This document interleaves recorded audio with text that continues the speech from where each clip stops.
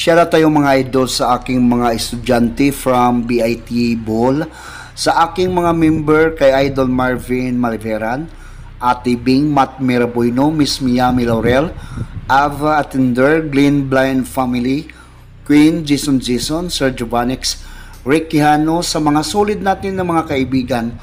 Shoutout kay Idol Marvin Maliveran, kay Amadio Flores, Fidias, Rona Villaluz, Emilin Binolirao, Jose Pacificador, Johnny Carty, Chris Alcantara at Jerry Montañez.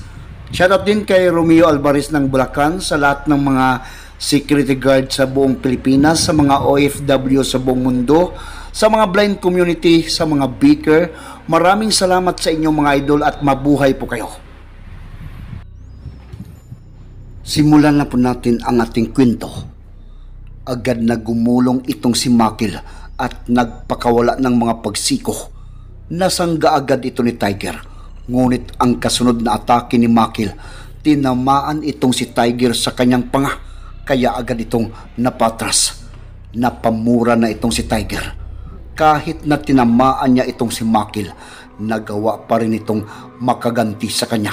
At kahit na malaking bulas pa ito, mabilis din kong kumilos. Medyo nayanig itong si Tiger sa suntok na iyon. Uwi ka nitong si Makil. Pwede na ba ang aking suntok, Tiger? Pagkatapos tumawa na ito. Sagot naman nitong si Tiger. Para sa isang katulad mo na malaking tao, mahina pa rin ang mga suntok mo. Hindi mo agad mapapatumba ang iyong kalaban sa isang suntok lamang. Ganon ba, Tiger? Sige, subukan mong tanggapin ang pag-atake kong ito. At pagkatapos, mabilis nang umibis itong si Makil papasugod kay Tiger. Nang makalapit na ito kay Tiger, agad na nagpakawala ito ng mga pagsuntok. Ngunit nang isangga nitong si Tiger ang kanyang mga braso, biglang yumuko itong si Makil at hindi itinuloy ang ginawang pagsuntok. Niyakap nito ang mga paa nitong si Tiger at hindi na nagawa pa ni Tiger na makabawi ng balanse. Nagawa nitong si Makil na maitumba itong si Tiger sa luna. Pagkatapos, kinubawa na niya ito at sinundan ng mga pagsuntok na sunod-sunod. Nagawa naman itong si Tiger na masangga ang mga ginawang atake na iyon ni Makil. Ngunit na nalagay sa alanganin na sa sitwasyon itong si Tiger may mga ilan na suntok ang lumusot at tumama ito sa kanya. Mas may baon pa nga ang mga suntok nitong si Makel dahil nakakubabaw ito kay Tiger. Uwi ka nitong si Makel habang patuloy na pinagsasapak itong si Tiger. Hindi mo na ba ako naalala Tiger? Hindi mo na ba naalala na minsan nag-cross na ang ating landas doon sa bayan ng San Nicolas? Kung nakalimutan mo na ang lahat. Ngunit ako ay hindi. Ikaw ang dahilan kung bakit ako nandrito ngayon sa gitna ng luna at lumalaban sa mga bakbakan.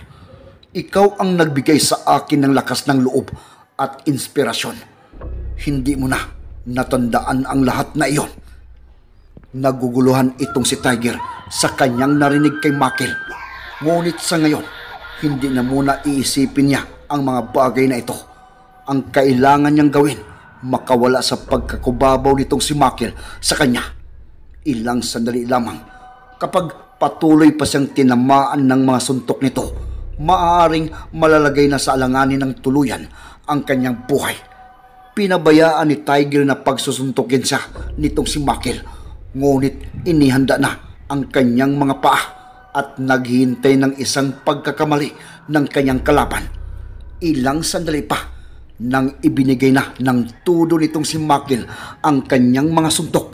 Biglang bumilo itong si Tiger at itinaas ang kanyang mga paa. Kaya napaabante itong si Makil at dito na tuluyang napahulagpos itong si Tiger. Pagkatapos sinuwag nito gamit ang kanyang ulo ang dibdib nitong si Makil.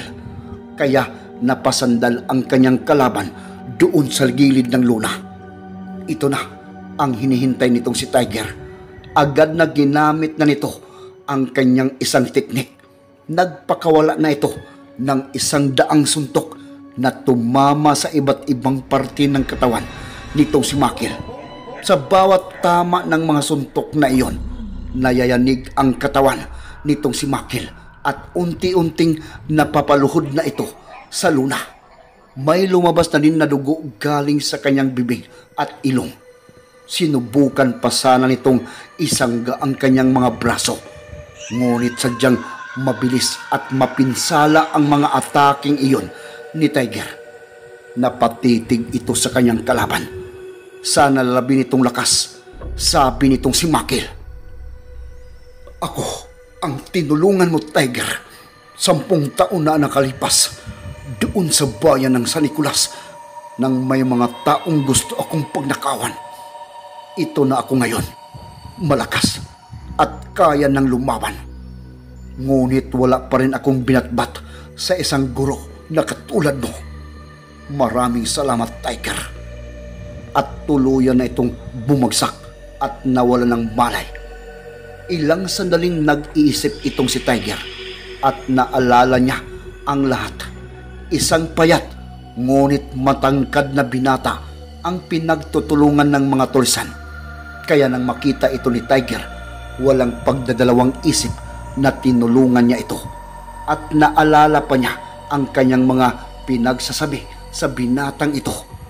Hindi makapaniwala si Tiger sa laki ng ipinagbago ng katawan nitong si Makil.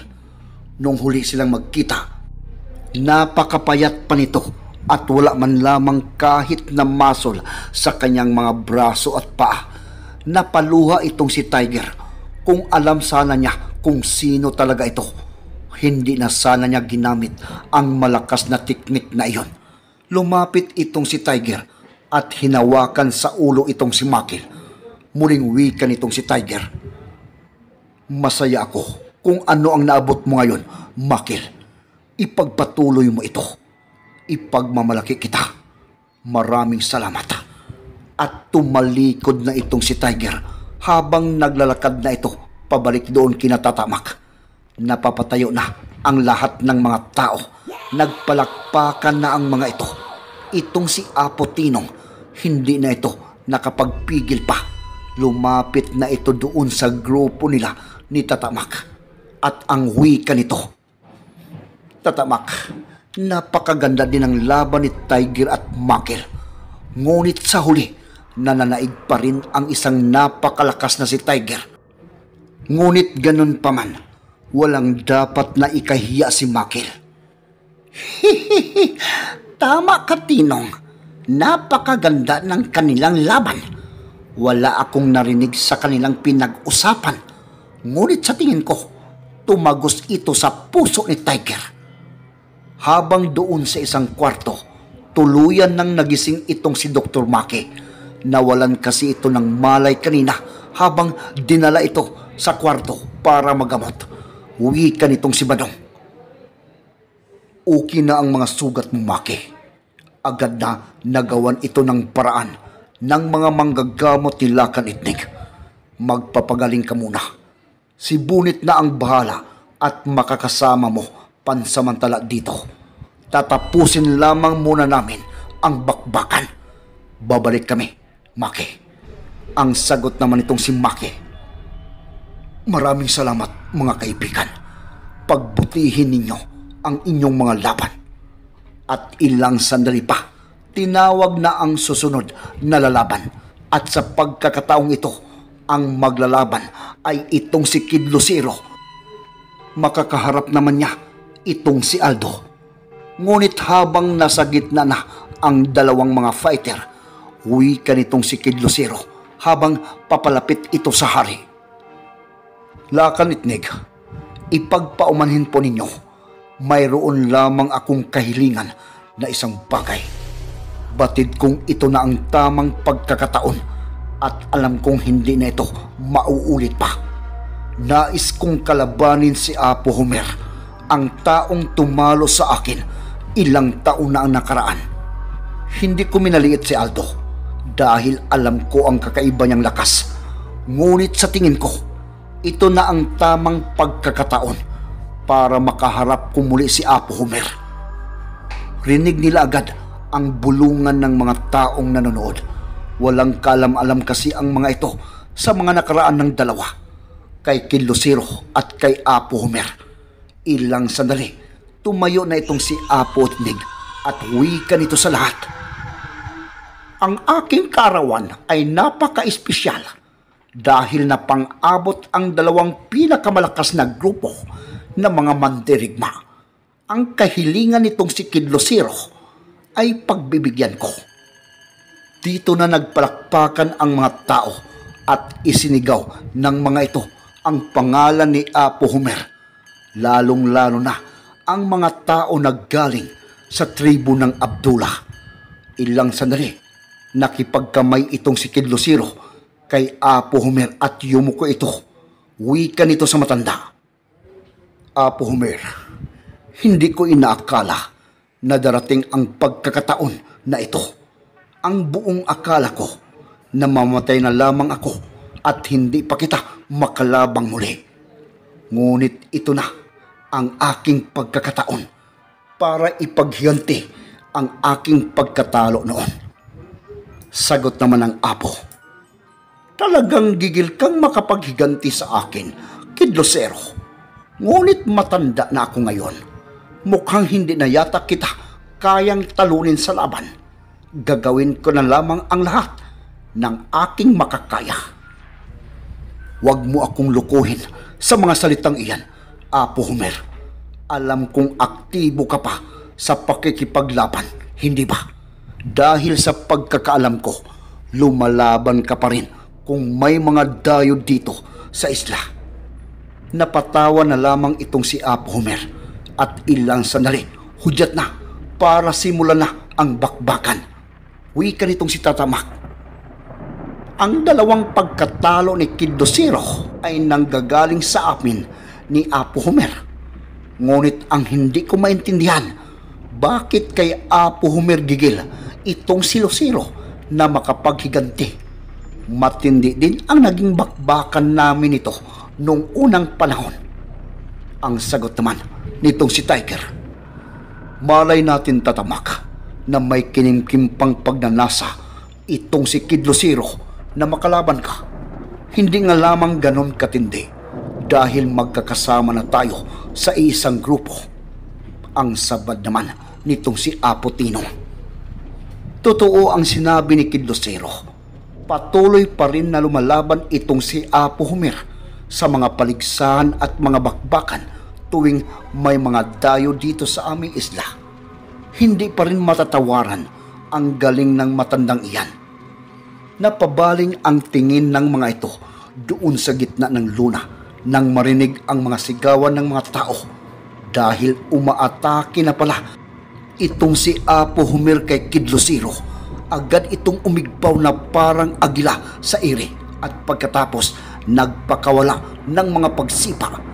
Napapatras itong si Kid Lucero habang sinasangga ang mga sipa ng matanda at ilang sandali pa pagbagsak nitong si Apo Homer agad itong yumuko at nagpakawala ng paikot na sipa. Mabilis ang mga kilos at galaw ng matanda at hindi na nailagan pa iyon ni Kid Lucero. Tumama ang sipang iyon sa kanyang paa kaya medyo napaluhod sa luna itong si Kid Lucero.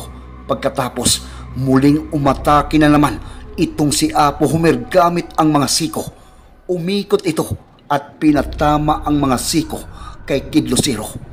Kahit na nakaluhod na itong si Kid Lucero, nasangga pa rin ito ang unang mga pagsiko nitong si Apo Homer. Ngunit ang huling dalawang atake, tinamaan na siya sa kanyang dibdib at liig. Kaya tuluyang natumba itong si Kid Lucero sa luna. Ilang sandali, umatras itong si Apo Homer. Wika niya kay Kid Lucero. Ano ang nangyayari sa iyo, Kid Lucero? Paano mo ako matatalo kung ganyan kakahina at kabagal sa laban? Umigpaw itong si Kid Lucero, patayo. Tumawa ito sa harapan ng matanda. Apo Homer, napakabilis mo pa rin gumalaw at kumilos. Sa tingin ko, mas bumilis at lumakas ka pa ngayon kumpara sa dati. Sinubukan ko lamang natanggapin ang mga atake mo para matansya ko ang lakas mo ngayon. Subukan mong umataking muli kung kaya mo pa ba akong patamaan. Ganon ba, Kid Lucero? Sige, subukan natin ang mga pinagsasabi mo. Ilang sandali pa, biglang umataking ng muli itong si Apo Homer. Siko, sipa, suntok at tuhod na ang mga ginagawa nitong mga pag-atake. Mas bumilis na din ang mga kilos nitong si Kid Lucero para masangga niya ang mga sunod-sunod na mga pag-atake nitong si Apo Homer. Kailangan niyang mas magiging mabilis para masabayan niya ito. Isang suntok nitong si Apo Homer ang hindi tumama. Kaya biglang gumanti itong si Kid Lucero ng pagsuntok. Tinamaan niya ang matanda sa may balikat. Kaya napatigil sa pag-abante itong si Apo Homer. Ramdam din niya ang lakas ng suntok na iyon ni Kid Lucero at ilang sandali pa, tumuloy na itong si Kid Lucero at akmang magpakawala sana ito ng isang pagsuntok. Ngunit piki lamang iyon dahil ulo ang ginamit nitong si Kid Lucero sa pag-atake. Sa pulsa dibdib ang matanda at tumalsik ito ng ilang pulgada. Napayuko itong si Apo Homer. Nahihirapan siya sa paghinga. Malakas ang pag-ataking iyon ni Kid Lucero muntik na niyang makalimutan na isa sa mga pinakamalakas na sandata sa labanan nitong si Kid Lucero ay ang kanyang ulo. Tinagurian nga itong Iron Head noong unang mga panahon dahil sa tigas at lakas ng ulo nito. Wika nitong si Apo Homer. Kid Lucero, muntik ko nang makalimutan kung ano ang pinanggagalingan ng iyong lakas. Nadali mo ako sa ataking iyon umatake na itong si Kid Lucero at nagpakawala agad ito ng mga magkakasunod na mga pagsuntok. Wika pa nga nito. Huwag mo akong maliitin, tanda. Huwag mong kalimutan kung anong meron ako na lakas. Napapaatras na itong si Apo Homer dahil sa mga pag-ataking iyon. Hanggang sa matamaan na naman siya ng mga suntok ni Kid Lucero sa kanyang dibdib napasandal na doon sa gilid ng luna itong si Apo Homer. Kaya sinamantala na iyon ni Kid Lucero. Nagpakawala na ito ng mga sunod-sunod na mga pagsuntok. Sipa, siko at suntok ang ginamit nito ngayon. Tinamaan man itong si Apo Homer. Ngunit agad itong nakapagpakawala ng mga counter na atake. Sa pulsa pa nga itong si Kid Lucero.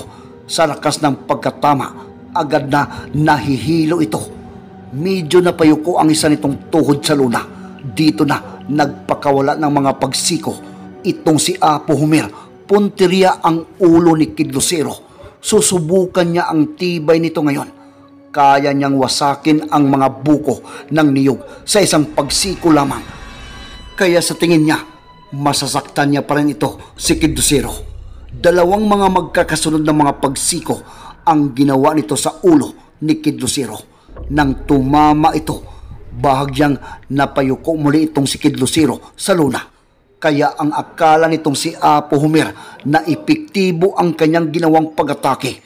Ngunit biglang umangat ang ulo ni Kid Lucero at sapul ang matanda sa panga at sinundan agad ito ng dalawang mga pagsuntok sa budiga ni Apo Homer. Alam ni Kid Lucero na hindi pa ito nakabawi sa nawalang hangin ng matamaan niya ito kanina sa dibdib. Agad na naramdaman ng matanda ang pagbaon ng mga suntok ng kanyang kalaban sa kanyang tagiliran. Kaya napabugan ng hangin si Apo Homer at agad na napaluhod ang isa nitong tuhod. Sobrang sakit ang kanyang naramdaman at halos hindi na siya makahinga. Umatras itong si Kildosiro. Wika nito sa matanda ang buong akala ko, Apo Homer, na mabilis at malakas ka. Di ba ang sabi mo kanina, hinding hindi ako mananalo kung ganito lamang ang aking lakas na taglay at bilis. Paano yan? Mukhang ikaw na ang nalalagay sa alanganin ngayon. Hindi makasagot itong si Apo Homer. Hirap pa siyang makahinga at patuloy na namimilipit ito sa sakit napatigil ang mga taong nandoon sa kanilang pagsigaw nang makitang bumagsak itong si Apo Homer, lalong-lalo na ang mga sakop ng matanda sa kanyang tribo. Wika nitong si Apo Tinong. Kakaiba pa rin ang lakas at talino sa pakikipaglaban ni Kidlosero. Mas lalong lumakas pa ito ngayon, tatamak. Ngunit hindi pa tapos si Apo Homer. Hindi pa niya ginagamit ang kanyang mga kakaibang teknik sa labanan.